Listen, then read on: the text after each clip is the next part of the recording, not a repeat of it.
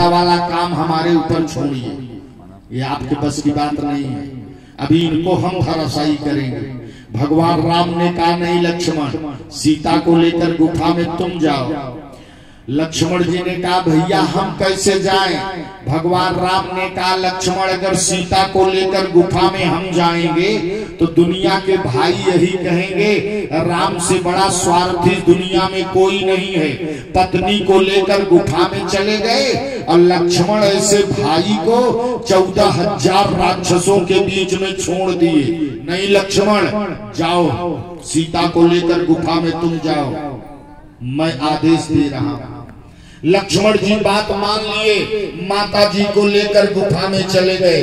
भगवान राम धनुष बाण लिए मुस्कुराते खड़े हैं। भगवान का स्वरूप ये खड़ा है, लेकिन ये नाक कान नहीं काटा है। काटा दूसरा है।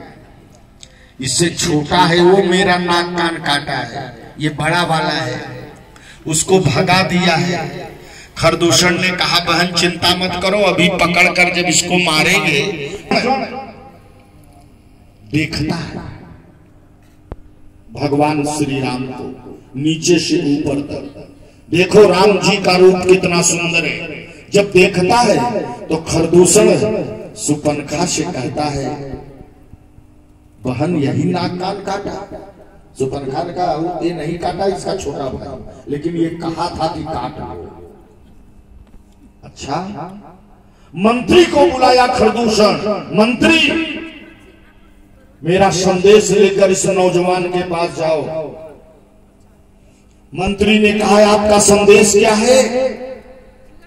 खरदूषण ने कहा, मंत्री, मैं पूरे लोक में भ्रमण किया हूँ, लेकिन ऐसी सुंदरता आज तक नहीं। आ देखे, जीते, हाथे हम केते हम भरी जन्म सुन हुआ सभाई। आ देखिए नहीं अस सुंदरताई ऐसी सुंदरता आज तक नहीं देखा है। खरदूषण ने कहा, मंत्री, मैं मानता हूँ कि मेरे बहन की नाक कान काटा है, मैं मानता हूँ। इतना सुंदर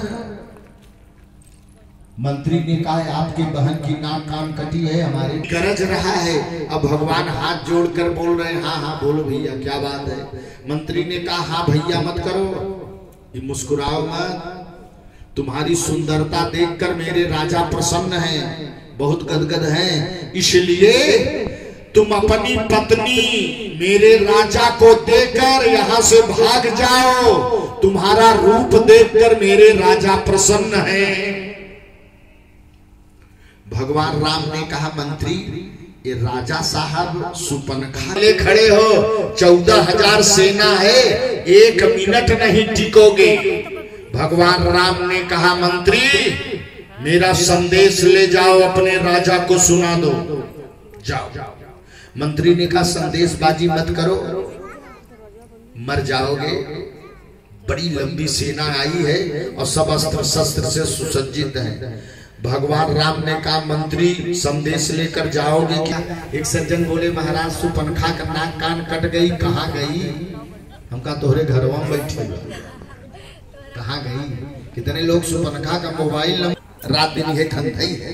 कहाँ फंसाओगे? सज्जनों, देख लो, भगवान राम ने कहा, मंत्री, जाकर अपने राजा से कह दो, मेरा संदेश सुना दो। मंत्री ने कहा, बोलो क्या संदेश है? भगवान राम ने कहा, अरे हम छत्री मैं भारत का ठाकुर हूँ और नौजवान ठाकुर हूँ। जाओ मंत्री, बोल दो। अरे हम छत्री मृगयापन करही तुम खल मृग खोजत फिरही रिपु बलवंत अदेख नहीं डरही एक बार काल हुसन लरही। अगर काल भी आ जाए तो भारत का नौजवान ठाकुर काल से भी लड़ने के लिए तैयार हो जाता है। ये राक्षस दिखाकर हमको डरवा रहे हो। अकेले खड़े हो और गरज बहुत तेज रहे हो। अकेले खड़े हो, गरज बहुत तेज रहे हो। भगवान राम ने कहा, तुम लोगों के लिए हम अकेले काफ़ी हैं। अकेले काफ़ी हैं। जाओ। मंत्री ने कहा, जा रहा हूँ। मंत्री जब जाने लगा तो भगवान राम मंत्री को बुलाए एक संदेश और लेते जाओ। मंत्री ने कहा, अब क्या है? अब कौन सा संदेश है? माध्यम से भाव दे रहा हूँ, राम जी सब कुछ क्या देते हैं? अब दो चीज़ क्या नहीं देते?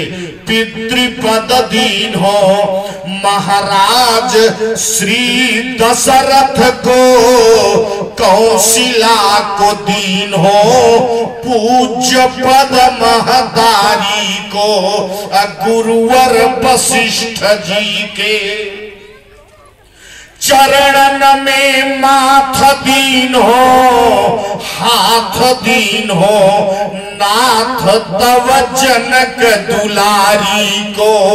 अनदीन हो तन दीन हो सब कुछ दीन। हो नदीन हो पीठ शत्रु को, न डीठ पर नारी को।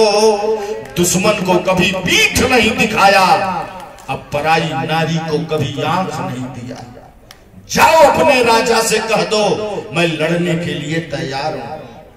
मंत्री आया खरदूषण के पास, महाराज, आप तो रूप देखकर प्रसन्न हो और तो गरज रहा है लड़ने के लिए एकदम। हाँ तैयार है।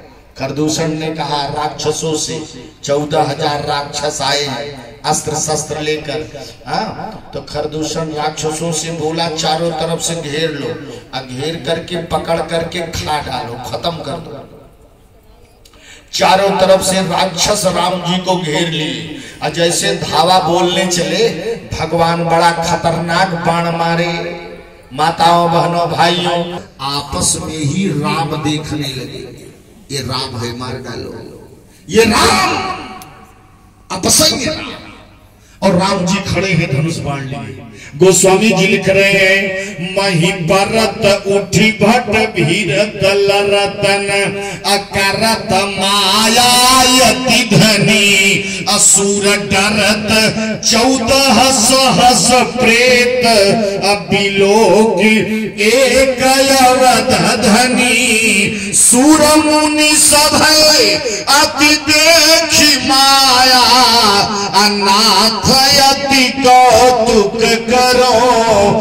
देख परस पर राम करी। संग्राम रिपुतल लरी मरो देख पर मारो मारो। सब देखकर मर गए, राम जी धनुष बाण लिए खड़े। सज्जनों, कहने का मतलब हमारा यह है, ये भगवान का स्वरूप है। राज्य कर प्रसन्न हो जाए, कोई आश्चर्य नहीं। आज उसी रूप को देखने के लिए अब देखी हम जाएँगे। अब तीनों लोग वरदान देने आ रहे हैं। विधि हरिहर। विधि ब्रह्मा। हरि विष्णु, हर शंकर, अरे विधि हरि हरे अतप देखी अपारा मनुष्य कई बार आते हैं, परम रोही परम रोही, मांगो वरदान मांगो वरदान हाँ लेकिन मनु शत्रुपा कुछ नहीं मांगते, तीनों लोग वापस चले जाते हैं। फिर कुछ दिन बाद आते मांगो मांगो, कुछ नहीं मांग रहे मनुष्य शत्रुपा मन में सोचे न इनका नाम ले रहा हूँ न इनका भजन कर रहा हूँ न इनका ध्यान लगाया हूँ। ये फालतू बीच में आकर टांग मार रहे हैं। राजा मनु से कुछ लोगों ने पूछा ब्रह्मा से मांग लो, शंकर जी से मांग लो। विष्णु प्रकट होते हैं। शंभु विरंचि विष्णु भगवाना, उपजहि जासु वंशते नाना। ऐसे प्रभु, सेवक बस भगति हेतु लीला तनु गही ऐसे भगवान से मांगूँगा, जिसके एक एक रोम से हज़ारों ब्रह्मा, शंकर, विष्णु प्रकट होते हैं। एक बात और सुन लो, शंकर भगवान नहीं, विष्णु भगवान नहीं ऐसे भगवान। ध्यान ध्यान वो सच्चिदानंद भगवान, जिसका कोई रूप नहीं है और जिसका सब रूप है। ब्रह्मा, विष्णु, महेश आते हैं, जाते हैं। मांग लो मांग लो, परम द्रोही परम द्रोही कुछ नहीं मांगते। अच्छा एक बात बताओ, अभी अगर ब्रह्मा जी इसी एक दुई वरदान हो तो देखो करे। ये तो बड़ी भारी निष्ठा दे रहा है। हा? हम मनु की संतान हैं। ब्रह्मा, विष्णु, महेश बार बार आते हैं। मांगो वरदान मांगो वरदान, लेकिन नहीं मांग रहे हैं। सज्जनों यहाँ हम मनु की संतान पूजा कम करते हैं, मांगते ज़्यादा है। बोलो। हा? कैसे पूजा सफल होगी? अब मैं आपका ज़्यादा समय नहीं लेना चाहता हूँ। मैं भगवान को प्रकट करना चाहता हूँ। अयोध्या में नहीं, मथुरा वृंदावन में नहीं, हा?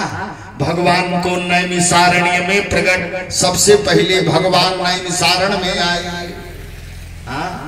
नैमिसारण देख लो। अब किस रूप में आए? जिस रूप में अयोध्या आए थे।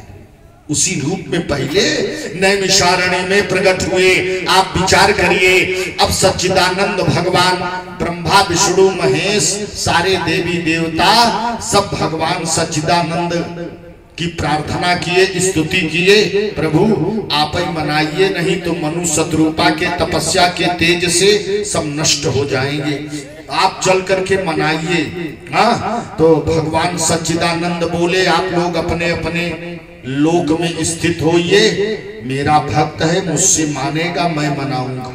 मैं चल रहा हूँ ना? अब भगवान आ रहे हैं। राजा मनु दर्शन प्राप्त करेंगे शत्रुपा प्राप्त करेंगे। आप लोग भी यहाँ बैठे हो। भाव से बैठना, भावेन जायते सिद्धि भाव बस भगवान। मांगू मांगू पर भई न भवानी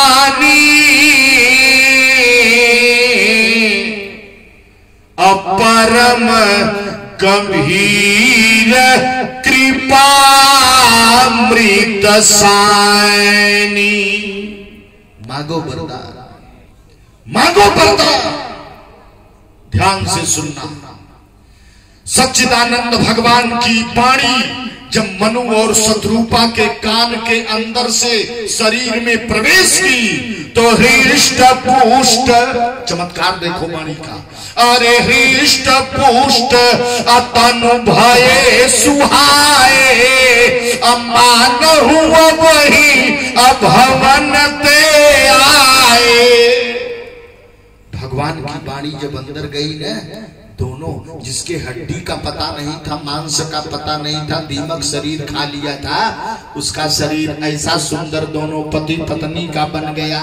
हृष्ट पुष्ट एकदम शत्रुपा राजकुमारी की तरह लगने लगी और राजा मनु राजकुमार की तरह एकदम युवती, युवा, सुंदर स्वरूप शत्रुपा राजा मनु को देखने लगी। महाराज मनु शत्रुपा को देखने लगे। महारानी बहुत सुंदर लग रही हो। एकदम राजकुमारी। शत्रुपा ने कहा, आप तो राजकुमार लग रहे हो। हड्डी का पता नहीं था ये कैसे चमत्कार हुआ। राजन, मांगू मांगू। मांगू वरदान राजा मनु राजा मनु ने कहा, किससे मांगू? मांगू किससे? सामने तो कोई दिखाई नहीं दे रहा है। किससे अगर देना चाहते हो तो सामने आओ। नहीं तो अपना रास्ता पकड़िए। क्योंकि मैं तपस्या किया हूँ तो दर्शन पाने के लिए। हूँ कि बार बार कह रहे हो, मांगो मांगो मांगो। मैं खजाना, सिंहासन, राजपाट सब कुछ छोड़ करके मैं तपस्या कर रहा हूँ। और मेरे तपस्या का लक्ष्य है आपका दर्शन प्राप्त करना। अगर अगर आपको कुछ देना है तो पहले मेरे सामने आइए। नहीं तो मैं कुछ नहीं मांगूँगा। मेरे सामने आइए। भगवान ने कहा, मैं सामने कैसे आऊ? मुझको सामने ले आना चाहते हो तो मेरे भक्त जैसा कहते हैं, मैं वैसा रूप बना करके सामने आ जाता हूँ। भक्त कहते हैं, सुअर बन जाओ तो मैं सुकरा अवतार धारण कर लेता हूँ। भक्त कहते हैं, मछली बन जाओ तो मैं मत्स्यावतार धारण कर लेता हूँ। भक्त जैसा कहता है, मैं वैसा ही रूप धारण करके सामने आ जाता हूँ। सज्जनों, भगवान ने कहा, राजन, बताओ मैं कौन सा रूप लेकर तुम्हारे सामने आऊँ? राजा मनु ने कहा, मैं बता रहा हूँ, मेरे ठाकुर, जो स्वरूप बस शिव मन माही अच्छा आप लोग कहोगे, शंकर जी के हृदय में कौन सा रूप है काक भुसुंडी जी के हृदय में कौन सा रूप है तो काक भुसुंडी जी, शंकर भगवान ने कहा, अब अगर तुम स्वरूप निर्धारित कर दिया तो राजन, मैं तुम्हारे सामने आ रहा हूँ। अब भगवान ने निशारण्य में राजा मनु और शत्रुपा के सामने प्रकट होने जा रहे हैं। अरे भगत बछल, सावधान हो जाना। भगवान आ रहे हैं। अरे भगत बछल प्रभु कृपा निधाना अब विश्वपास प्रगटे भगवाना। ओ भक्त वत्सल भगवान के। भगवाना। सुनो कथा एक एक घाट पर कथा चले। हाँ? भगत बछल कौन घाट है? प्रभु कृपा निधाना कौन घाट है?